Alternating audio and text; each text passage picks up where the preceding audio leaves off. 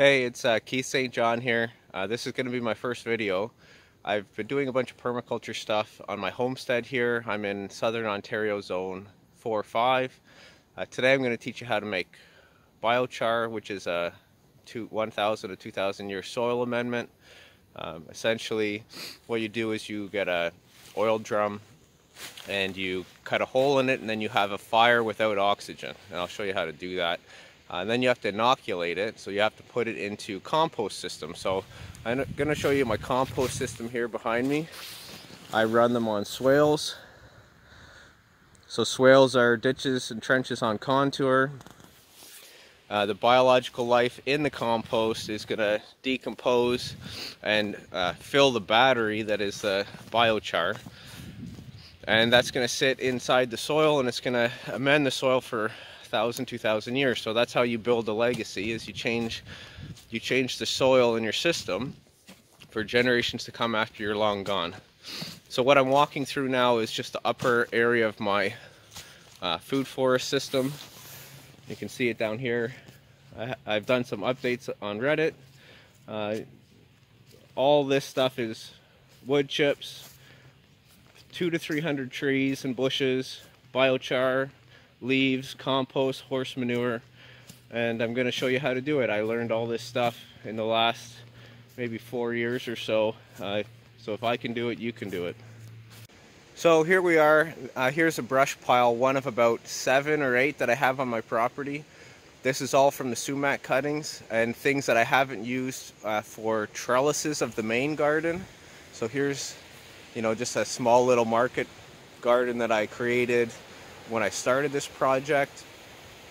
Uh, all the trellises are the larger pieces of the sumac and the smaller pieces of the sumac were put into brush piles both for wildlife habitat uh, and then eventually to turn into charcoal and then inoculate it with organic life and material which will be the biochar. So what you need to do is you need to have a, a fire with in the absence of oxygen. So you cut the top of one of these. There's many ways to do it. This is just one. I found this is the fastest and easiest way. Is you cut the top off one of these oil drums and then you have the fire inside that, starting it from the corner and then building it up. And I'll explain it as I go. You essentially want to have the fire, the combustion area at the top of the burn and you want to have a non-combusted wood underneath it where the, the gases will get driven out from the heat of the fire and then will rise up because there's nowhere to go and they'll burn and recombust in the burn area. What this does is it creates a very clean fire and it leaves a lot of the charcoal, which is the cell walls of the organic matter, uh, perfectly in place and uh, intact that will be the nucleation sites and the bonding sites for all the nutrient and that's what the biochar that's the strength of the biochar. So again sorry for the shaky video. It's freezing out here. My hands are cold and I'm trying to make my first video. This they'll get better I hope. Okay thank you. What you're gonna want to do is pre-soak the area around where you're going to have your compost biochar fire. And then you want to have a source of of water so you can always quench it if you ever need to. And you want to obviously have no trees uh, up and above it just in case the fire does go fast. At the beginning, the fire is going to be largely combustion with a bunch of oxygen, uh, turning charcoal into ash, wood into charcoal, and then charcoal into ash. You're going to want to drive that into an oxygen depleted environment as soon as possible. And we're going to do that two ways. We're going to fill this thing as densely as we can. So I'm going to stitch in a bunch of smaller twigs into this. The ideal size for the start is anything around uh, maybe uh, two, three, four inches wide. Anything thicker than that, you might have to run it through two processes. The bottom of my tub right now is full of stuff that wasn't quite finished from the last time I did this. And then after that, uh, you want to have something, you know, about the size of a pinky finger to an index or middle finger uh, in diameter. Nothing too much bigger than that. It's better. The smaller stuff has more green ramial growth when it, it'll dry out faster, it'll combust and burn hotter, and it'll drive more heat out faster. Uh, so that's really what you want to focus on twigs. Use the bigger stuff for firewood, uh, for building posts, and then use the small stuff for charcoal. That's the best way to do it. As this thing burns and gets brittle, we're going to use a tamper. So you can see the tamper back here. We're going to use the tamper to smash it down and get the charcoal right on the bottom so that we can keep filling this up and uh, and get it to be as oxygen depleted as possible. Okay, so what we've done now is we've got the fire started in a corner. Um, I started it in this corner here. It's caught on a bit. As it, once it gets its foothold established, which you can really tell by feeling the barrel, and you can feel around the side, you know, what the temperature profile across it is. When it starts getting a little further away, you know that that big, uh, heavy steel barrel has sucked up a lot of the heat and you can tell also by the, the, the, rocks around the bottom, if you touch them, you can kind of tell how much heat they have stored. Once you feel like you've got a decent amount of heat in the area, you can start stamping down with the tamper and get some of those charcoals, the coals, to fall down to the bottom. They'll keep some heat on the bottom and really start to drive the pyrolysis and the bottom wood and the gases up through the burn zone. And what you also find is when you stamp the corner, the fire will start to creep across the top to the other side. So we'll uh, let her go for a bit and we'll check back in in a little while. Okay, we're about uh, 30 minutes in, 40 minutes into the burn. I just wanted to show you guys, once you get this going, look how clean the burn is. There's almost no smoke. You know, all the stuff at the top, there's going to be a little bit of smoke from right now I, I don't have the burn coming quite all, quite all the way across. Uh, so the stuff over here on this side is going to be uh, combustion. But if you look at the heat, and I don't know, you can't feel the heat coming off this thing, but there is a lot of heat coming off this. What's going on right now is the gases from the wood at the bottom are being pyrolyzed and sent up. They're being pushed out of the wood, and they're entering this burn zone at the top and the burn is really, really clean. Lots and lots of energy and heat coming off this thing, which is going to further drive the process. So I'm going to tamp this down now. Hopefully I can figure out a way to do this one-handed with a lot of heat in there.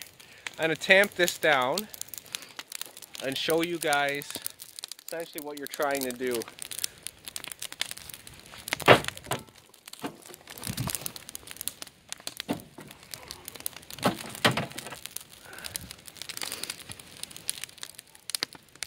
So some of the coal, that wasn't great, but some of the coal is going to fall to the bottom. I'm going to reload the top with more pyrolyte or combustion wood. And as it burns and uh, it does a little bit of combustion, but pyrolysis from the bottom, again, the gas is re, re-burning in the combustion layer. I'm going to keep tamping it down and this thing's going to slowly fill bottom up with, with coals that are 100% uh, cell wall, well maybe not 100%, but uh, cell walls intact, long carbon chains. The long carbon chains of the cell wall act as activation sites for holding and storing nutrient and water and also uh, little hallways and crevices, microscopic, for the soil microbiology to set foothold in and uh, really have a safe place to multiply and colonize and it's the life in your soil that is going to feed the roots of the plants. So all gardening is about finding ways to increase the life in the soil and this is one of the best ways possible. Okay, I refilled it back up and I'm showing you a smoky fire for a reason. I think it's really important that we don't just show people the good things we're doing, we show people the mistakes that we're doing. My mistake today is that it actually rained a few times in the last week or two. And what that's done is it's put a little bit more uh, moisture and wetness in the wood than I'd like. So when I tamp it down and get those coals to the bottom, uh, when I refill it with the new wood, it's wetter than I'd like. A lot of this smoke you're seeing is steam. Um, however, because water and steam absorb so much heat, the burn area gets very much colder than it should be in order to recombust the gases. So when you're putting wet wood on top, what you have happen is those combustion gases that you're seeing here, um, they're coming up through the burn zone and it's not hot enough to recombust them. So a real important thing, oh I'm getting smoked in here. So a real important thing when you're doing these fires is to use as dry wood as possible. The stuff that I'm using seasoned for about a year, but because it was a little wet, the top layer is very wet. It's sucking a lot of heat out, and you can see the amount of uh, gases that I'm normally reburning, but for right now, until that moisture gets sucked out of this new stuff, uh, the gases are getting out. My goal here for the next little while, short while, 10 minutes or so, I'm going to go around and collect some really, really, really dry cedar, and I'm going to put it on top. That'll hopefully get um, a hot burn area, especially small twiggy cedar. That'll get a hot burn area back on top. Uh, this pawpaw area is planted out to uh, rose bushes, uh, so pawpaws and then rose bushes just outside of it, and gar uh, onion and dill and garlic outside of that, and then um, perennial kale and clover outside of that, and Jerusalem out artichokes outside of that. So what that essentially does is the deer, I get a lot of deer pressure coming in from this way, and bunnies. So what that does is it gives the deer and bunnies something that they like to eat. They eat that stuff, and then they hit that smell wall of the onion and garlic and the dill and asparagus, and they don't like to come in any closer than that. And then they hit the thorn wall of sea berries, uh, roses, autumn olives, and they don't really push any further in. And that gives them, they basically come in, they eat what they like, they hit the smell wall, they fertilize my land while they're there, and I get to see bunnies and deers all the time, and I don't really care because they're not eating the stuff that I actually want. So here's the, the cedar forest. Uh, this is a, a, lower area of my land. It's fairly useless uh, in terms of food. There's a, a deer come in from the uh, from the river and the stream here, and um, the way that cedar basically work is as they grow up and the lower branches don't get enough sun, the tree uh, closes off the water supply to those branches, and uh, they slowly die off and dry out. So anyone who's walked around a cedar uh, forest, you know that it's just full of this kind of stuff here. Just easy, easy to break, uh, dead, completely dry, as dry as it can get uh, branches. So I'm going to collect a bunch of these and stick them on the fire. I'm going to go quick because, actually I'm going to go take a look at the fire first and then I'm going to go do this. Um, keep an eye on your fire. Okay, checking back in. I just want to show you guys, we're clean again. Yay, it worked. And I've got a bunch more uh, where we go? Right there, a bunch more in case I need it. I got 100 times uh, more than that if I need it, uh, if, if it gets out of control again. I'm going to really focus on keeping the top layer as dry as possible, mixing in some of the other dry stuff so that we don't get a bunch of water vapor having to come out of, uh, out of the wood and really pulling that heat out of the fire. I want it really hot on top and I want to reburn those gases. Uh, we're about two hours in now. I just wanted to give an update uh, and just some general tips. Right now, uh, you'll probably see a lot of ash, a lot more ash than I typically like. It's a balance. It's a, it, it's a process that has a, uh, a tipping point between the fire going out and the heat being removed off the top and then making a, a bunch of combustion gases that don't get reburned or a hot air on top that is uh, sometimes consuming a little bit of charcoal, a little bit of the coal to produce ash, um, but that's a lot of heat as well. So what I like to do is I like to typically err on the side of too much ash. The ash is a great soil amendment itself, uh, and it will actually kind of balance the pH a little bit with the charcoal. Uh, especially for me, I have fairly acidic soil. Well, not it's not that bad. It's uh, about 6.5 or, or something like that. So it's, you know, it's not a 4 or anything like that.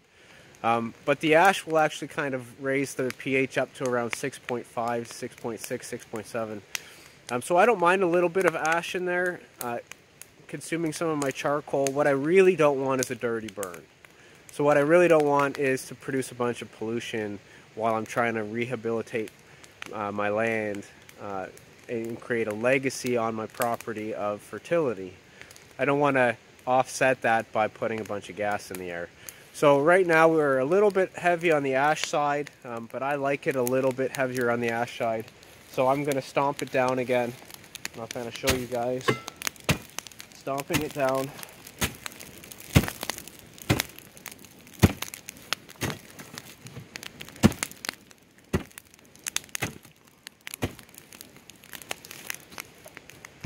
Okay, so we're we're pretty heavy here on the charcoal on the top. Then what I like to do is I like to get a stick and kind of dig in and lift some of the other stuff. I'm sorry, the camera's all over the place. Lift some of the the bigger stuff that hasn't broken yet or, or burned yet up to the top.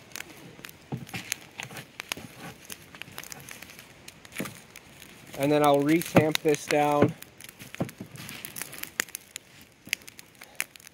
I'll retamp this back down, get that charcoal down to the bottom, and I'll put some more on top. Okay, and I'll check back with you in a little bit. Sorry for the shaky video. I'm trying my best.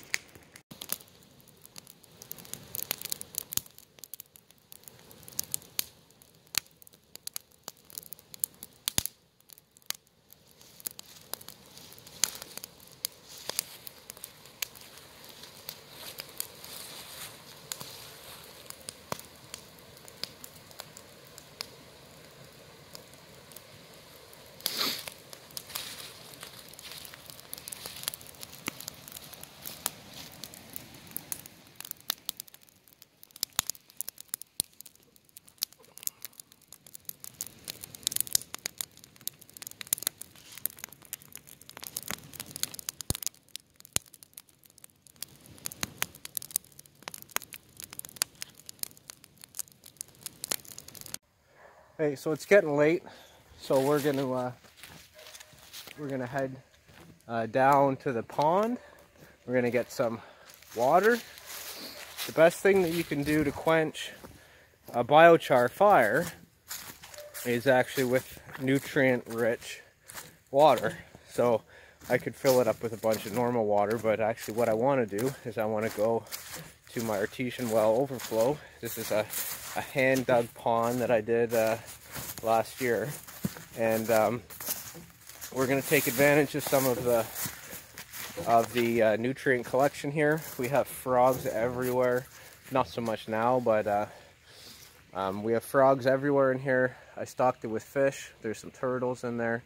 Uh, and there's a constant stream of water coming from the artesian well feeding this thing. So this will actually stay um, unfrozen all winter through minus 40 Celsius. It's a real gift to have this constant stream of water. I'm going to use this nutrient-rich water to fill and quench the biochar and uh, we'll start the inoculation process right on day one. Uh, biochar is essentially like an empty battery and you have to charge it up. If you just put it into the soil of your gardens, it's going to charge itself on the nutrients in your soil. So you actually have to charge it up in a compost pile, urinating on it. Uh, you can put flour um, and sugar and molasses, uh, compost, manure, whatever you want in it, but it has to sit there and charge up. And then you put that into your soil. And that is going to act like a buffer, a nutrient storage that's going to uh, slowly over time, if there's deficiencies in the soil, the soil microbiology that's living in your biochar will help take care of it. So for now, we're going to focus on this uh, nutrient-rich, high nitrate um, fish, frog, a little bit of turtles, and a snapper turtle uh, pond with a um, high iron content, uh, typical granite soaked up, lime heavy, uh, nutrient-rich water. Perfect. Okay, here we go. So we're going to go ahead and quench this thing now. Uh, look how clean that burn is. It's perfect. That's beautiful. This is what you want. Uh, no smoke, minimal minimal smoke, uh, water vapor. It's just heat driving the gases out and that recombusting, that heat re-driving more gases out. It's perfect. Now I can let this go for longer. I, I nailed most of this pile here. Um, I have another pile here. I have another pile uh, over here and another couple up there. I'm uh, sheet uh, killing some poison ivy here. This is the way you do it organically. You don't need to spray chemicals, you just need to smother it. These other piles, uh, first off, I don't have time. I have to go to my kids' hockey game. I love my kids' hockey games, by the way. It's that's I said gardening was life. Watching your kids play hockey, that's life. Uh, these other piles, I'm going to leave them for the winter as habitat uh, for bunnies and squirrels and whatever wants to live in there. Give them a safe place to live and hide from predators. I'm really big on the wildlife. It's, I mean, why, why bother gardening if you're all alone out here? There's no point. So I'm going to leave those ones uh, in the wintertime, let something live in it. In the spring I'll come do this again, just in time to inoculate everything. Uh, I'll probably put that in the compost uh, this thing here, I'm going to flood it right to the top. I'm going to let it sit in there. Uh, it's really important to flood this thing. When you put out a fire at a campfire, you don't just pour water on it and walk away. You pour water on it, you stir it and make a slurry, and then you pour more water on top. You stir it again.